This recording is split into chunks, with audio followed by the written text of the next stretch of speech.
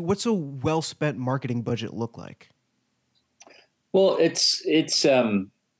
it's uh, that's a really good question, and and I'm you know I'm not deflecting in in in, in any way. It just it's one of those. It's almost um, in the scope of things when you're trying to say promote something or or, or